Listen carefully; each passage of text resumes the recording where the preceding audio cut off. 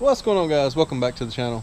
So I'm out here today. I've got the dozer outside. It's a really pretty day. We don't get very many of these, so I'm trying to get this thing painted today. Um, it's already late in the afternoon, but the humidity is really low. Today it's like 30% humidity and about 80 degrees. So really pretty day. Usually our humidity is really high. Stuff don't dry very good. So I want to try to get this thing uh, painted. At least the dozer part, you know, obviously I'm not going to get to the blade or the panels and stuff. I want to at least get the dozer sprayed and uh, so I've got everything washed up here. I'm letting it sit here and dry. I've got uh, some stuff mask off that uh, you know really needs to be. I ran out of masking tape. So it's going to kind of be what it's going to be. But uh, I had to do a little bit of welding on the uh, the armrest up here which was a little bit sketchy because the reason is the bolts go in the top of the fuel tank there and those bolts are broken off um, down in there and so the armrest is flopping all around. Somebody had already tack welded the other side and this fuel tank here is bound to have some kind of reinforcement up under there so it's pretty thick I feel like. I did remove the tank and I turned the machine down kind of low so I didn't have no chance of burning through it. And uh, just put some tacks on that right there after I got it set where I wanted because uh, obviously I didn't want to be you know drilling and then drill down through trying to get the bolts out and do that and then get metal shavings in my fuel tank. I didn't want to put uh, heat on it with a torch or, or try any of that stuff. Um, so anyway, that's just what I decided to do is to tack weld that on there in a fixed position for me. And uh, if anybody else runs a dozer, well, they probably shouldn't be on my dozer. And uh, well, I guess if I decide to sell it or something, then somebody else can worry about it at that point. But um, not really planning on selling it, so at least at the moment. So that should be fine as far as that goes. I'm still waiting on parts to come in for this joystick. So I'm leaving all of this stuff loose right now. Um, and so I think I about got everything tidied up here. Oh, I ordered a new seat. The seat come in and uh, the holes are different on the mounting platform there.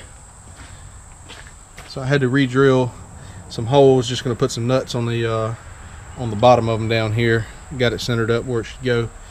So uh, I think we're about ready to spray some paint on this as soon as as uh, it finishes drying. I had to put down some boards here to track this thing out of the shop because as you see it's a mud hole out here and whenever you track it back and forth the tracks uh, pick up mud and it goes around and it drops back all off on the undercarriage here that we need to paint.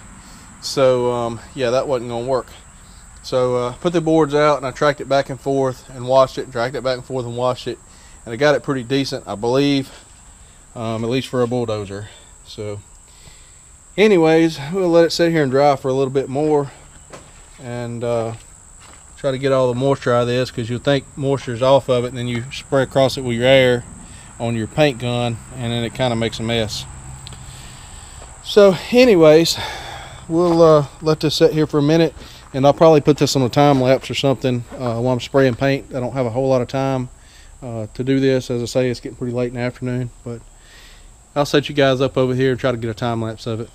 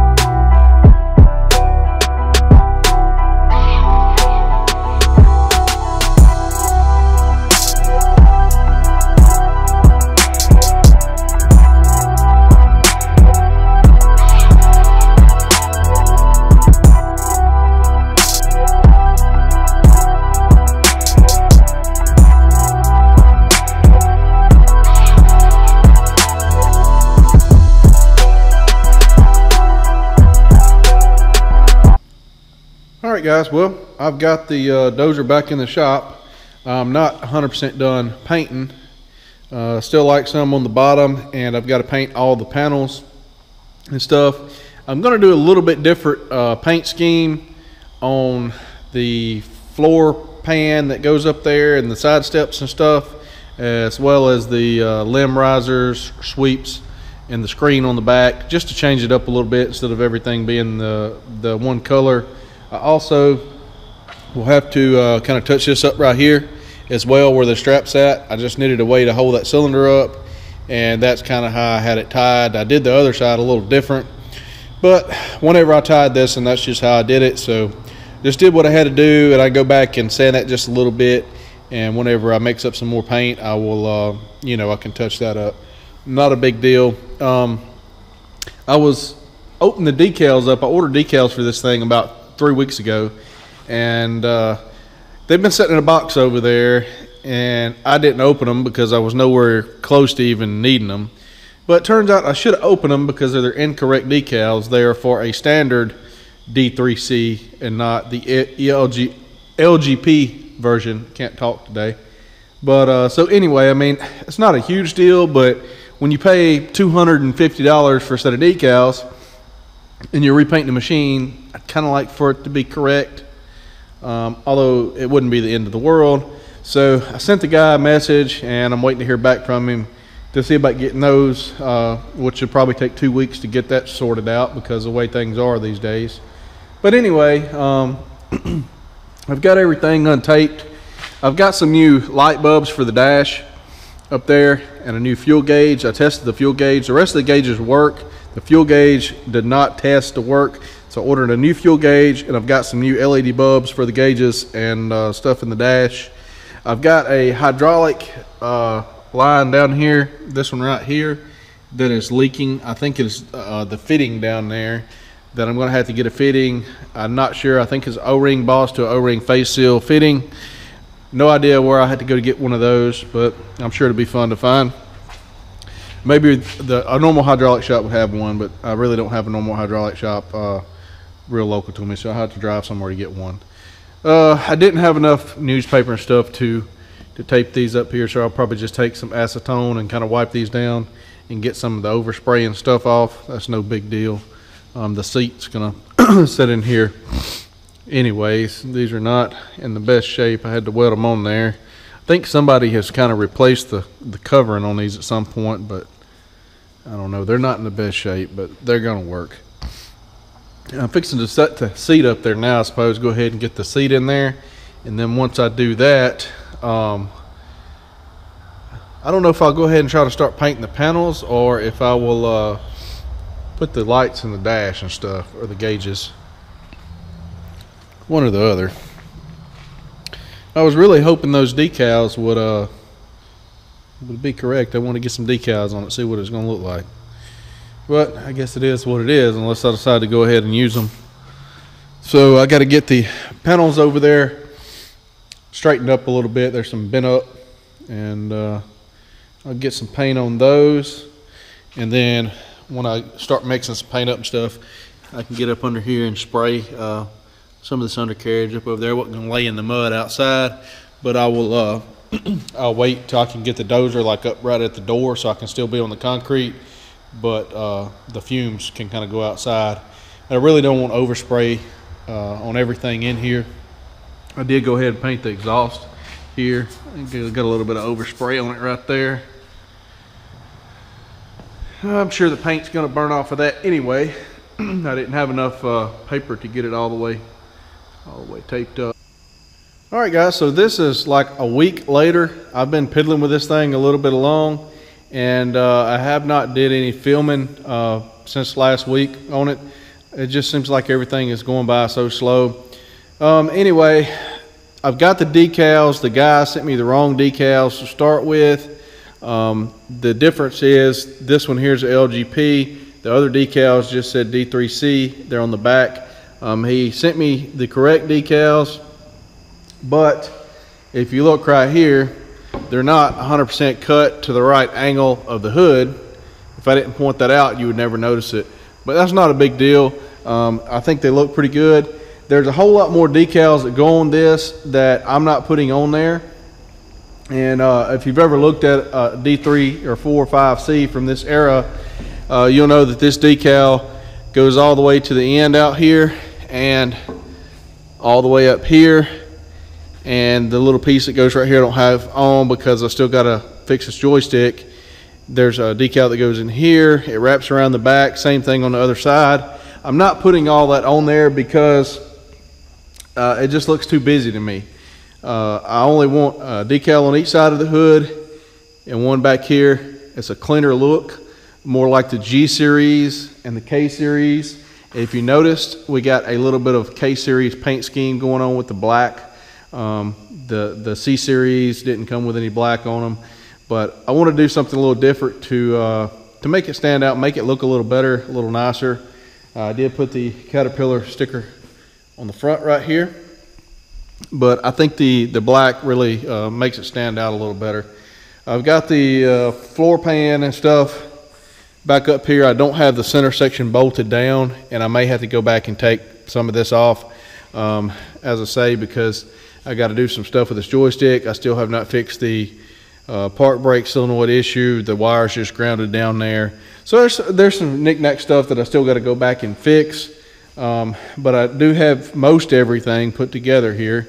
Um, i have got this new cable put on here. This goes to the hydraulic pump down there that controls the uh, the pressure on there, keeps you from loading the engine down, bogging it down too much as an adjustment of that cable. So I've got that on there because the other one was messed up. It had a spot rub through, it was binding up. And I've got a new uh, primer here. This one's messed up. I tried to prime it when I put it back together and couldn't get this pump to work. It's all froze up in there. So we got a new one of them coming.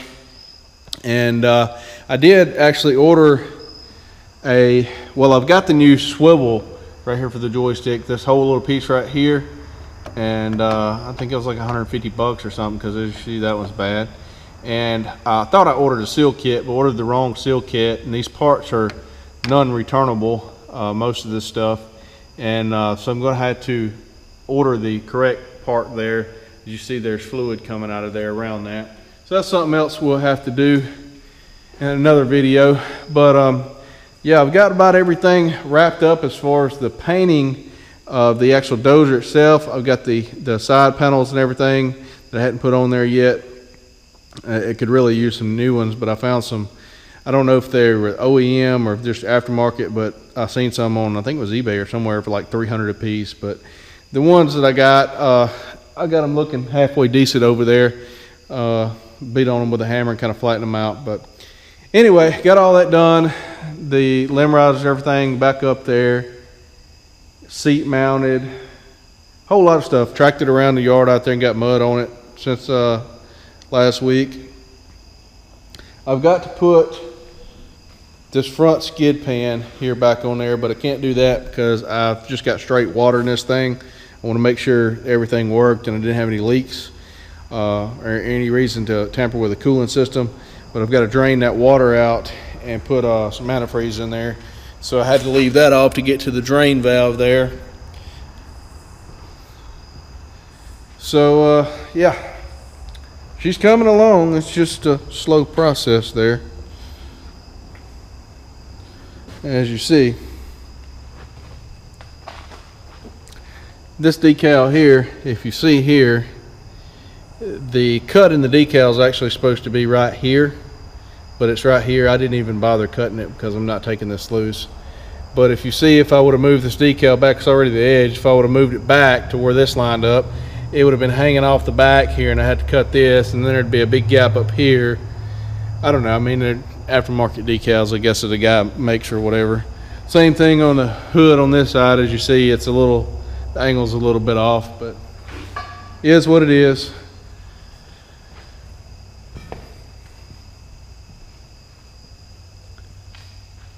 Got the uh, pre-cleaner up there cleaned out. I could have ordered a new one of them. There ain't but like 40 bucks, but anyway, I cleaned the dirt and stuff out of that. Kind of works like a, uh, like a bagless vacuum. The air goes in through here and it's like a bowl shaped deal. It, it goes up through the center and then the dirt settles on the outside, kind of. Anyway, a few little knick-knack things I've got to uh, to tidy up, touch up, as I say. Uh, and then we can get started on the blade. I had the uh, the bearings for the mounts down there. Then when we pull the blade off and everything, I have that stuff in, and I just hadn't got to it yet. So we got to get the blade cleaned up and uh, painted, narrowed, whatever we're gonna do to it. New cutting edge ordered. I hadn't got them ordered yet. I got to go do that and uh, kind of get everything tidied up. So I guess I'll go ahead and wrap this video up, and uh, we'll figure out what we're going to do in the next one.